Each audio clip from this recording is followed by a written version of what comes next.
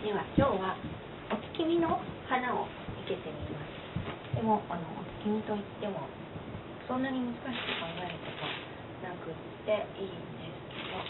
これはまずすすきお月見だったらこれが欲しいですね。やっぱりすすきこれさっきちょっと道端で取ってきたものです。でお花なんですけどあんまりお月見らしいお花が手に入らないことも多いと思いますお月見なので黄色い菊あ黄色が引き立つようにリンドがあったらいいなと思ったんですけどそれだけで売ってるお花屋さんがなかったので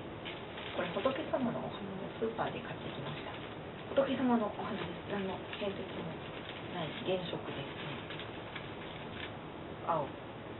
白い菊に青いリン赤いカーネーション赤の小菊黄色い菊菊というかスプレーマムですね。が入っている普通のうっかです。これでもできます。そんなに変じゃないですよね、まあ、あの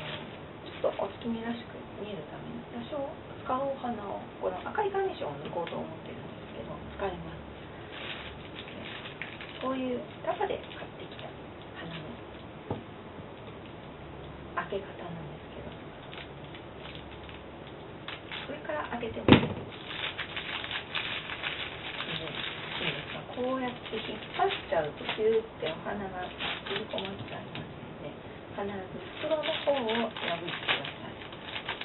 別に上から破ってもいいんですけど下からの方が花が上から手を置いてるようで花を下向いて開けられます袋をピタッとください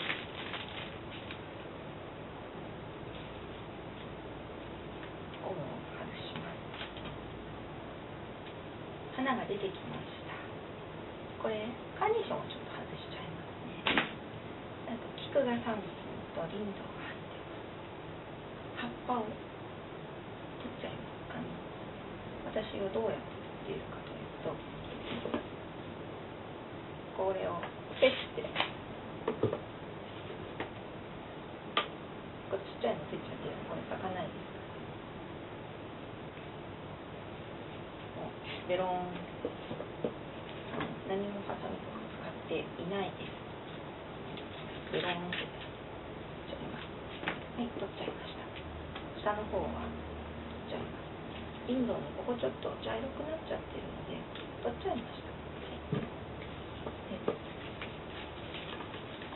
これだけでも十分綺麗ですもうあの極論行ってしまう下を揃えてドンっていうこれだけでも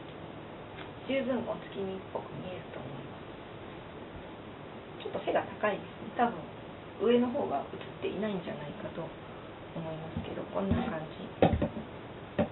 これだけでもはっきり言って十分お月見に見えると思いますただの仏花ですよ買ってきたのは仏様のお花です。ただこれお月見らしく見える色があってやっぱり黄色と青。でできればちょっとピンク系が少し入ると綺麗だと思います大きいお花がこれなくてもまあ可愛いと思いますけどでもっと減らすなら赤も取っちゃう。これだけでも可愛いと思います入れ物がもっと小さい時はこれだけでも十分だと思います後でちょっとおちょこにおちょこじゃない。ですあの熱燗入れるなんて言うんでしたっけ。どっくりに入れてみます。